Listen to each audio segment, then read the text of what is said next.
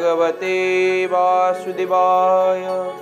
ॐ नमो भगवते गुरुदेवाय। ॐ नमो भगवते शिशु अनन्ताय जय शिशु अनन्त राजा राम। जय सत्य सनातन কর কিরাম জয় শিশু অনন্ত রাজা রাম।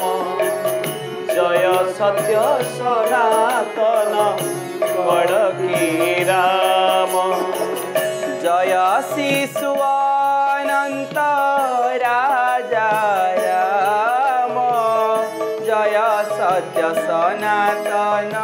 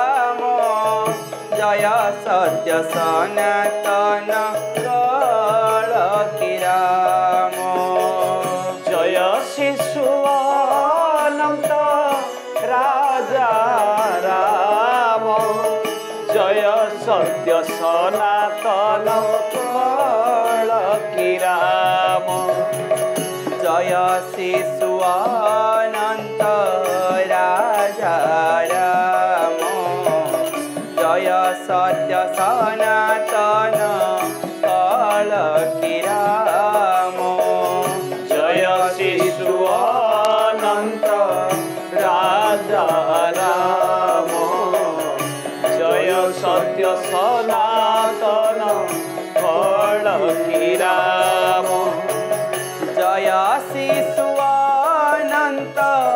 राजा राम। जय सत्यसन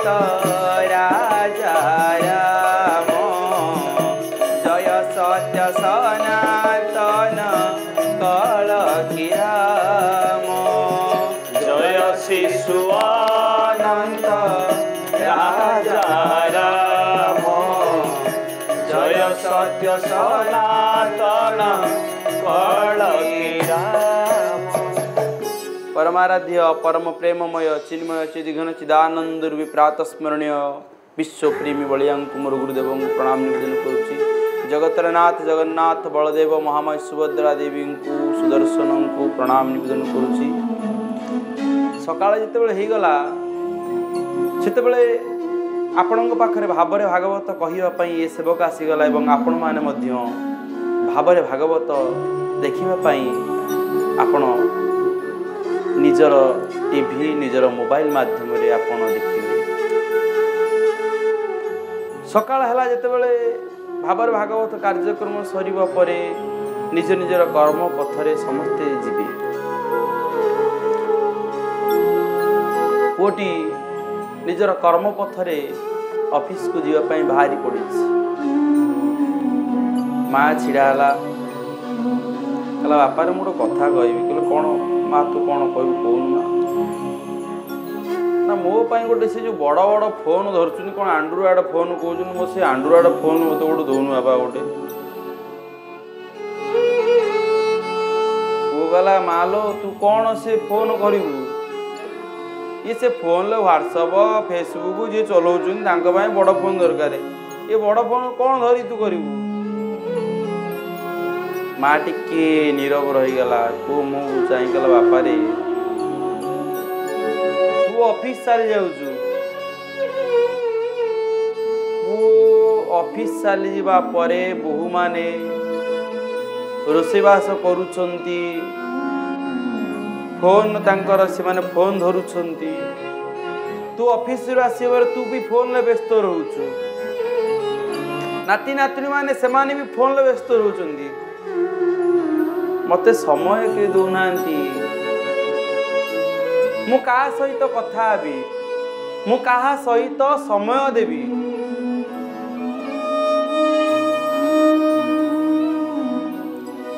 କମ୍ ସେ କମ୍ ମୋ ପାଖରେ ଫୋନ୍ଟା ଥିଲେ ମୁଁ ଟିକେ ସେ ମେସେଞ୍ଜର ମାଧ୍ୟମରେ କିମ୍ବା ହ୍ୱାଟ୍ସଆପ୍ ମାଧ୍ୟମରେ ଟିକେ ମେସେଜ କଲେ। ସାମ୍ନାରେ ତ ବସିକି ପଦେ ପଦେ କଥା ହେଉନ କିନ୍ତୁ ଏ ମେସେଞ୍ଜର ମାଧ୍ୟମରେ ହ୍ୱାଟ୍ସଆପ୍ ମାଧ୍ୟମରେ ତୁମେ ମୋ ସହିତ ଟିକେ ଚାଟିଂ କରନ୍ତ ମୁଁ ତୁମ ସହିତ ସମସ୍ତଙ୍କ ଟିକେ ଚାଟିଂ କରନ୍ତି। ମୋର ମନର ଭାବର କଥାକୁ ତୁମ ପାଖରେ ପରିପ୍ରକାଶ କରନ୍ତି। ତୁମେମାନେ ମଧ୍ୟ ମୋର ଉତ୍ତର ଟିକେ ଦେଇପାରନ୍ତ। ଆଜିର ସମାଜରେ ଆଜିର ପ୍ରତିଟି ପରିବାର ଭିତରେ କେବଳ ବ୍ୟସ୍ତ ବ୍ୟସ୍ତ ସମସ୍ତେ ବ୍ୟସ୍ତ। କାହା ପାଖରେ ସମୟ ନାହିଁ ଜଣେ ଜଣକୁ ସମୟ ଦବ। ଜଣେ ଜଣର କଥାକୁ ଶୁଣିବ ଜଣେ ଜଣଙ୍କର କଥାକୁ ସମାଧାନ କରିବ ସେଥିପାଇଁ କାହା ପାଖରେ ମଧ୍ୟ ସମୟ ନାହିଁ। ଇଏ ହେଉଛି ସବୁଠାରୁ ବଡ଼ ଦୁଃଖର କଥା। ଏଇ ଦୁଃଖ ଭିତରେ ଜୀବନରେ ଇଏ ହେଉଛି ସବୁଠାରୁ ବଡ଼ ଦୁଃଖ।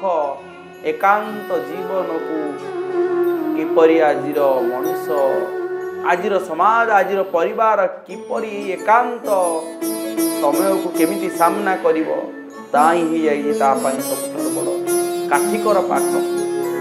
ତେଣୁ ପ୍ରିୟ ସଜ୍ଜ ଆମେ ଗତକାଲି ସକାଳ ସମୟରେ ଆମେ ଠିକ୍ ଏଇଭଳି ଏକ ସମୟରେ ଆମେ ଶ୍ରବଣ କରୁଥିଲୁ ସେ ପୁଣ୍ଡରକଙ୍କର କଥା। ଅହଙ୍କାର ମଣିଷକୁ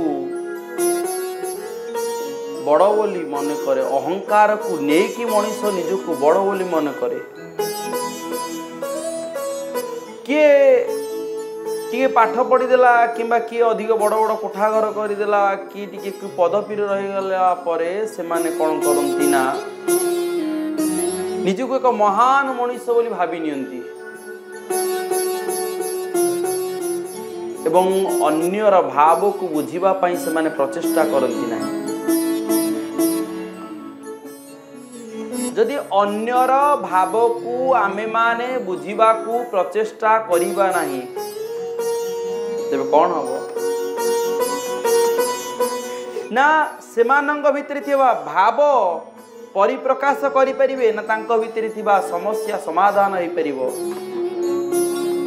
ଆଜି ପୁଣ୍ଡରକଙ୍କ ମଧ୍ୟରେ ତାଙ୍କ ମନ ଭିତରେ ଯେଉଁ ଅହଙ୍କାର ଜାତ ହେଇଛି ସେ ନିଜକୁ ଭଗବାନ ବୋଲି ମନେ କରୁଛନ୍ତି। ଭଗବାନ କହିଦେଲେ ପାଟିରେ କେହି ଭଗବାନ ହେଇଯାଆନ୍ତିନି। ଶଙ୍ଖ ଚକ୍ର ଗଦା ପଦ୍ମ ଧରିଦେଲେ କେହି ଭଗବାନ ହେଇଯିବେନି। ଶଙ୍ଖ ରୂପୀ ଶୃଙ୍ଖଳା ଭିତରେ ଥିଲେ।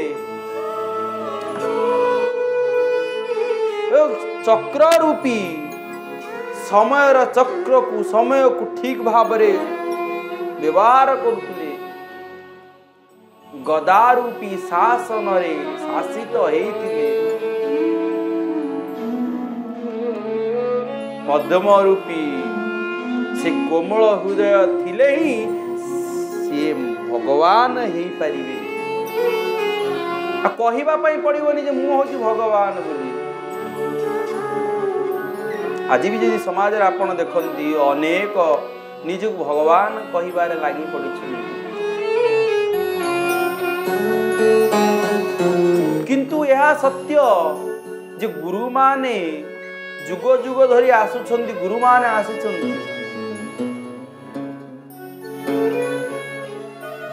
जो जहाँ भगवान आमको चिन्हले, ये हूँ तुम भगवान, सूर्य ବାୟୁ ଅଗ୍ନି ଜଳ ଇଏ ଆମ ପାଇଁ ବାସ୍ତବରେ ଭଗବାନ ତାଙ୍କୁ କିନ୍ତୁ ଆମେ ସମ୍ମାନ ଦେଇପାରିଲୁନି ତାଙ୍କୁ ବି ଟିକେ ଆମେ ପ୍ରଣାମ କରିପାରିଲୁନି।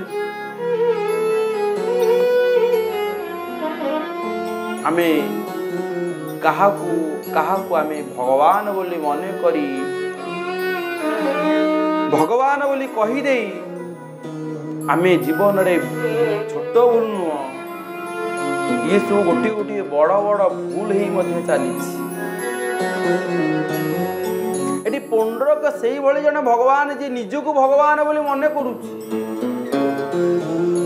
ଯାହାଙ୍କ ପାଖରେ ସାମର୍ଥ୍ୟ ଯାହା କିଛି ଥାଉ ନା କାହିଁକି ସିଏ ନିଜେ ନିଜେ କହୁଛନ୍ତି ମୁଁ ହଉଛି ଭଗବାନ। ଏ କରୁଷ ଦେଶର ରାଜା। ପଣ୍ଡରକ ଆସିକି କାଶୀ ରାଜାଙ୍କ ପାଖରେ ଥିଲେ। କାରଣ କାଶୀ ରାଜାଙ୍କର ପଣ୍ଡରକଙ୍କର ଦୁଇଙ୍କର ବଡ଼ ଭଲ ବନ୍ଧୁତ୍ୱ ଥିଲା। ଭଗବାନ କୃଷ୍ଣ ହଉଛନ୍ତି ଲୀଳାମୟ। ଯେହେତୁ ଦୂତ ପଠେଇଛନ୍ତି ଏବଂ କହିଛନ୍ତି ତୁମେ ତୁମର ଅସ୍ତ୍ରକୁ ଛାଡ଼। ସେ କହିଛନ୍ତି ମୁଁ ଅସ୍ତ୍ର ଛାଡ଼ିବି। ଭଗବାନ କୃଷ୍ଣ ତାଙ୍କର ସୈନ୍ୟ ସାମନ୍ତଙ୍କ ସହିତ ଆଜି ଯୁଦ୍ଧ କରିବା ପାଇଁ ବାହାରିଛନ୍ତି। କହିଛନ୍ତି ମୁଁ ଅସ୍ତ୍ର ଛାଡ଼ିବା କଥା। ମୁଁ ଅସ୍ତ୍ର ଛାଡ଼ିଦେବି। ଭାଗବତ କହିଛନ୍ତି ଗୋଟିଏ ପଦରେ ସୁନ୍ଦର ଭାବରେ କହିଦେଇଛନ୍ତି କୁରୁଷ ଦେଶେ ବନମାଳି ନିମିଷ ମାତ୍ରେ ଯାଇ ମିଳି। ଗୋବିନ୍ଦ ଗୋବିନ୍ଦ ଗୋବିନ୍ଦ। ମଧୁ ଗଳୁଛି ମକରନ୍ଦ କୃଷ୍ଣର ଆଗମନ ଶୁଣି ପୁଣ୍ଡ୍ରକ ବେନି ଅକହିଣୀ ଗୋବିନ୍ଦ ଗୋବିନ୍ଦ ଗୋବିନ୍ଦ ମଧୁ ଗଳୁଛି ମକରନ୍ଦ ସାଜି ମିଳିଲା କୃଷ୍ଣ ପାଶେ ସଂଗ୍ରାମେ ଜିଣିବାର ଆସେ গোবিন্দ গোবিন্দ। মধু গড়ুছি মকরন্দ তাহার মিত্র কাশী রাজ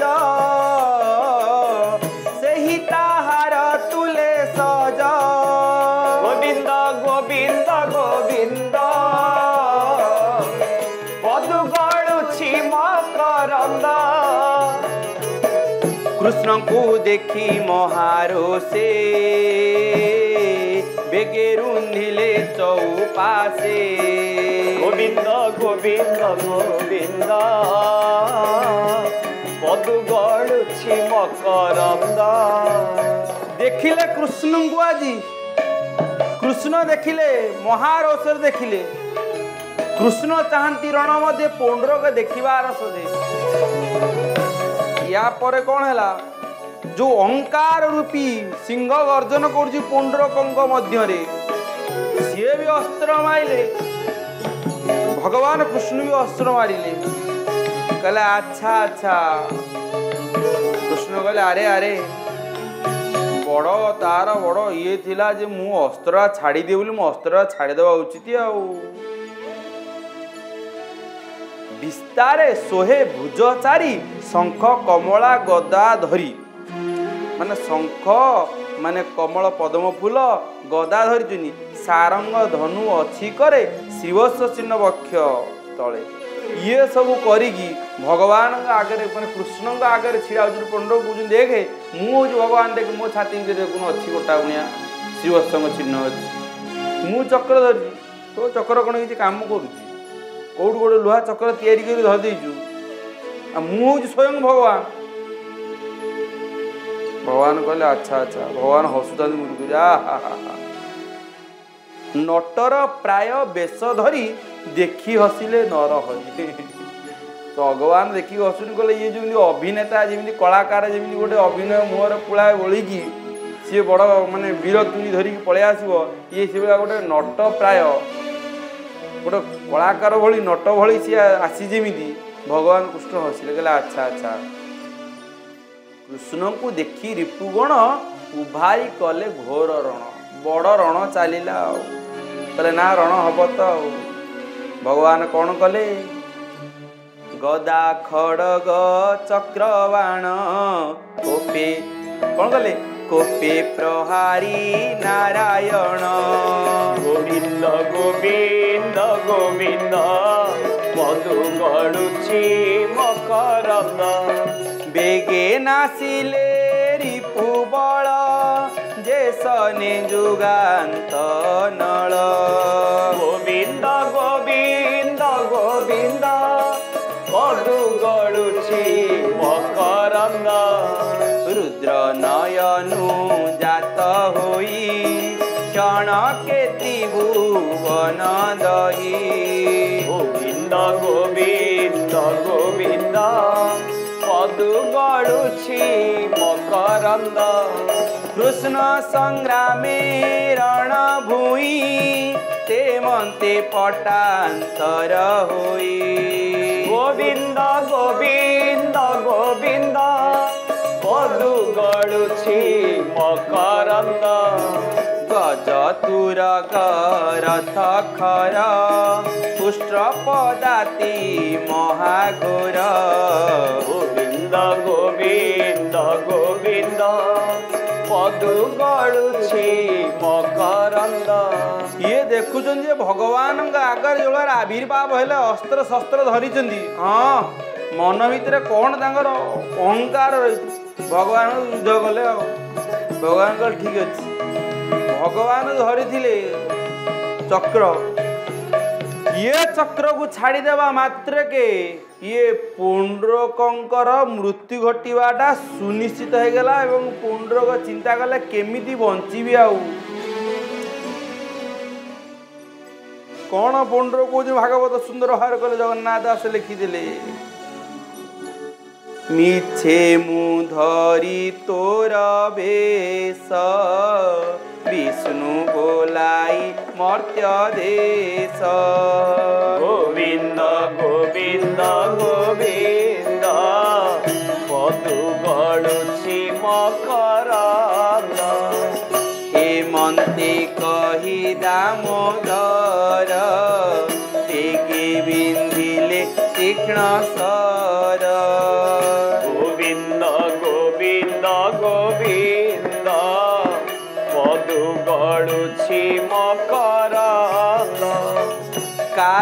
রাজার শির কাটি নার চগলা শূন্য ঘোটি।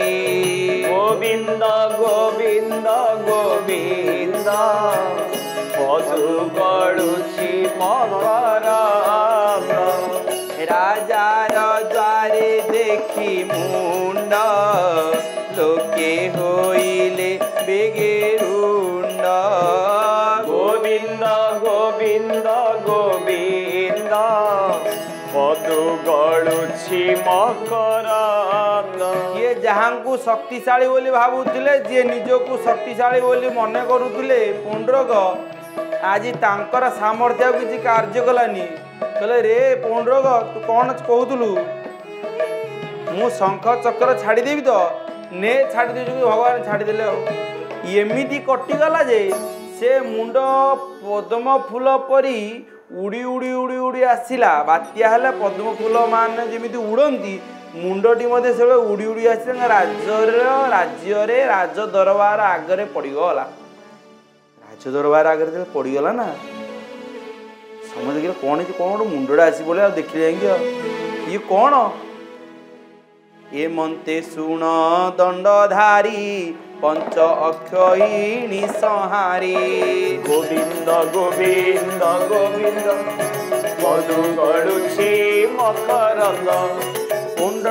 काशी राजा तुले रणे गोविन्द संहारीले गोविन्द गोविन्द गोविन्द पदुगढु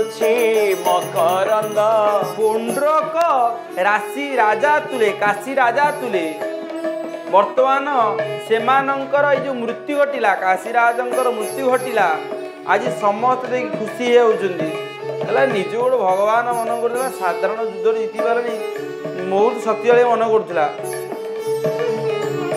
ଥରେ ବାବା ଗୋଟେ ଥରେ ସୁନ୍ଦର କଥାଟିଏ କହିଲେ ଜଣେ ଆସିକି ଆଶ୍ରମରେ ଆସି ଜଣେ କହିଲେ କହିଲେ ମୁଁ ଯେତେ ଧନୀଶାଳୀ ମୋ ପାଖରେ ବହୁତ ଟଙ୍କା ଅଛି। କହିଲେ ହଁ। କହିଲେ ମୁଁ ବାବା ପାଖାପାଖି ମୁଁ ପାଞ୍ଚଟା ଖଣ୍ଡ ଅର୍ଡ଼ର କରିଛି ବର୍ତ୍ତମାନ ମୋତେ ମଣିଷ ମାନେ ପୋଲିସ ଗୋଡ଼େଇଛନ୍ତି।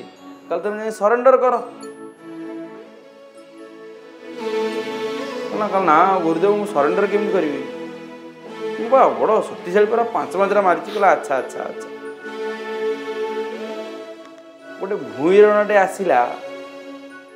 କିଛି ବାଟ ମାନେ ସେଇଠୁ ଆସିକି ଖାଇବା ପାଇଁ ଯାଇଥିଲି। ଭୂଇଁଟା ତାକୁ ଗାଲକୁ ଦେଖି ଗୋଟେ ମାରିଦେଇକି ପଳେଇଲା। ଗାଲଟା ବଡ଼ ଆକାର ଫୁଲିଗଲା। ଫୁଲିଗଲା ପରେ ପୁଣି ବାବା ପଚାରିଲେ କ'ଣ ତ ଗାଲ କ'ଣ ଫୁଲି ଯାଇଛି କ'ଣ? ନା ଗୋଟେ ଗୋଟେ ଗୋଟେ ଯେଉଁ ମଚ୍ଛର ଥା ନା ସେ ଗୋଟେ ହିନ୍ଦୀ ଲୋକ ତ। ସେ କହିଲା ଗୋଟେ ଆସି କାମୁଡ଼ି ଦେଲା ଗୋଟେ ମଚ୍ଛର ମଶା କିମ୍ବା ଗୋଟେ ଗୋଟେ ବଲୁରି ଭୂଇଁରଣ କ'ଣ? ସେ ଭୂଇଁରଣଟା ତ ମାରିକି ପଳେଇଲା କିଛି କରିପାରିଲୁନି? କହିଲା ନା ବାବା ମୁଁ କିଛି କରିବି ସାମାନ୍ୟ ଭୂଇଁରଣ ଟିକେ କାମୁଡ଼ିଲା ଗାଲ ତୋର ଫୁଲିକି ଅବସ୍ଥା ଏଇଆ। କିନ୍ତୁ ତମେ କହୁଛ ମୁଁ ଏତେ ଲୋକଙ୍କୁ ମର୍ଡ଼ର କରିଛି। ଯାଅ ଥାନାରେ ଯାଇକି ନିଜେ ସରେଣ୍ଡର କର। ପରେ ଯାଇକି ଥାନାରେ ସରେଣ୍ଡର କଲେ ଦୁଇ ବର୍ଷ ଥାନାରେ ରହିଲେ ଦୁଇ ବର୍ଷ ରହିବା ପରେ ପରେ ଜଣାପଡ଼ିଲା ସିଏ ମର୍ଡ଼ର ଯେହେତୁ ଯେଉଁମାନଙ୍କ ସାଙ୍ଗରେ ମିଶି କରିଥିଲେ ସମସ୍ତେ ଧରା ପଡ଼ିଲେ। ଏଠି କହିବାର ଉଦ୍ଦେଶ୍ୟ ହେଉଛି ମଣିଷ ନିଜକୁ ଭାବେ ଯେ ଆମେ ସବୁଠାରୁ ବଡ଼ ଶକ୍ତିଶାଳୀ। କିନ୍ତୁ ଶକ୍ତିଶାଳୀ ବାସ୍ତବରେ ଆମେ ନୁହଁ। ଶକ୍ତିଶାଳୀ ହେଉଛନ୍ତି ସେ ପରମ ପିତା ଭଗବାନ ହେଉଛନ୍ତି ସବୁଠାରୁ ଶକ୍ତିଶାଳୀ। ସାମାନ୍ୟ କଣ୍ଟାଟିଏ ଫୁଟିଗଲେ ଆମର ସାମର୍ଥ୍ୟ ନାହିଁ ଆମର ଅର୍ଥ ନାହିଁ ତାକୁ ଭଲ କରିବା ପାଇଁ। ତେଣୁକରି ସେଇଥିପାଇଁ ସେ କହୁଛନ୍ତି କ'ଣ? ଦ୍ୱାରକା ବିଜେ ଲକ୍ଷ୍ମୀକାନ୍ତ ଏବେ ହୋ ଶୁଣ ନରନାଥ। ଭଗବାନ ଏସବୁ କାର୍ଯ୍ୟକୁ ସମାପନ କରିବା ପରେ ଭଗବାନ କ'ଣ? କ'ଣ? ଦ୍ୱାରକା ନଗରକୁ ଆଗମନ କଲେ। ପୁଣ୍ଡ୍ରକ ଗୋବିନ୍ଦର ଭାବ ନିରତେ କରି ଅନୁଭବ ମରଣେ ଚାହିଁ ପଦ୍ମମୁଖ ଲଭିଲା କୃଷ୍ଣର ସ୍ୱରୂପ। ଯେହେତୁ ସେ ପୁଣ୍ଡ୍ରକ ବାରମ୍ବାର କହୁଥିଲା ମୁଁ ଭଗବାନ ମୁଁ ଭଗବାନ ମୁଁ ଭଗବାନ କୃଷ୍ଣ ନୁହଁ କୃଷ୍ଣ ନୁହଁ। ବାରମ୍ବାର କୃଷ୍ଣଙ୍କୁ ସ୍ମରଣ କରୁଥିଲା। କୃଷ୍ଣଙ୍କର ଦ୍ୱାରା ହିଁ ତାର ମୃତ୍ୟୁ ଘଟିଲା। ତାଙ୍କର ମୃତ୍ୟୁଟା କୃଷ୍ଣଙ୍କ ଦ୍ୱାରା ହିଁ ଅସ୍ତ୍ର ଦ୍ୱାରା ହିଁ ଘଟି ଯେହେତୁ। ମୃତ୍ୟୁ ପୂର୍ବରୁ ମଧ୍ୟ ଯେହେତୁ କୃଷ୍ଣଙ୍କୁ ଦେଖିଛନ୍ତି ତେଣୁକରି ତାଙ୍କର କ'ଣ ହେଲା ନା ସିଏ ପଦ୍ମ ମୁଖକୁ ଦେଖିକି ଲ ମାନେ ମୃତ୍ୟୁ ଘଟିଥିବାରୁ ସେ କୃଷ୍ଣଙ୍କର ସ୍ୱରୂପକୁ ଲାଭ କଲେ ମାନେ କୃଷ୍ଣଙ୍କର ପଦାର ବିନ୍ଦରେ ସେ ଶରଣ ନେଇପାରିଲେ। ତେଣୁ ପ୍ରିୟ ସଜ୍ଜ ଦେଖନ୍ତୁ ଭକ୍ତ ଭଗବାନ ଭଗବାନ ହେଉଛନ୍ତି ଏତେ ଲୀଳାମୟ ଏଭଳି ଲୀଳାମୟ ଅଛି ସେ ଗୋଟେ ସାଧାରଣ ମଣିଷକୁ ମଧ୍ୟ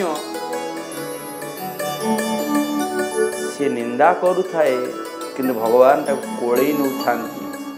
ଭଗବାନ ତାକୁ ଦିବ୍ୟ ଜ୍ଞାନର କଥା କହୁଥାନ୍ତି। ତେଣୁ ପ୍ରିୟ ସଜ୍ଜନ ଆମ ଜୀବନଚର୍ଯ୍ୟାରେ କେତେ ଘଟଣା କେତେ ଅଘଟଣ ଘଟିଯାଉଛି। କିନ୍ତୁ ଏ କାଶୀରାଜଙ୍କର ଗୋଟିଏ ପୁତ୍ର ଥିଲା। ଭଗବାନ ସିନା ଚାଲିଗଲେ ଦ୍ୱାରକାକୁ କିନ୍ତୁ ଏ କାଶୀରାଜା ପିତାଙ୍କର ମୃତ୍ୟୁ ପରେ ତାଙ୍କର ପୁତ୍ର ଯାହାଙ୍କର ନାମ ହେଉଛି ସୁଦକ୍ଷିଣ এই ସୁଦକ୍ଷିଣ କ'ଣ କଲେ? ଆମେ ଆସନ୍ତାକାଲି ସକାଳ ଛଅ ଘଟିକାରେ ଶୁଣିବା। ସୁଦକ୍ଷିଣ ପିତାଙ୍କର ମୃତ୍ୟୁ ପରେ ପିତାଙ୍କର ବନ୍ଧୁଙ୍କର ମୃତ୍ୟୁ ପରେ ତାଙ୍କର କ'ଣ ଘଟି ତାଙ୍କ କ'ଣ ପ୍ରତିକ୍ରିୟା ଘଟିଛି? ଆମେ ଆସନ୍ତାକାଲି ସକାଳ ଛଅ ଘଟିକାରେ ଶୁଣିବା। ସେତେବେଳେ ପର୍ଯ୍ୟନ୍ତ ଆନନ୍ଦରେ ଭାବରେ ଆପଣ ଗାଇ ଉଠନ୍ତୁ। ଜୟ ଶିଶୁ ଅନନ୍ତ। ରାଜା ରାମ। জয় সত্য সনাতন কল কি রাম? জয় শিশু অনন্ত, রাজা রাম। জয় সত্য সনাতন কলকি রাম? জয় শিশু অনন্ত, রাজা রাম। जय सत्यसनातन कालकी राम, जय शिशु अनंत राजा राम, जय सत्य सनातन कालकी राम, जय शिशु अनंत राजा राम, जय सत्य सनातन कालकी राम, जय शिशु अनंत राजा राम, जय सत्य सनातन कालकी राम, जय शिशु अनंत राजा राम, जय सत्य सनातन। জয় কলকি রাম জয় শিশু অনন্ত রাজা রাম জয় সত্য সনাতন কলকি রাম।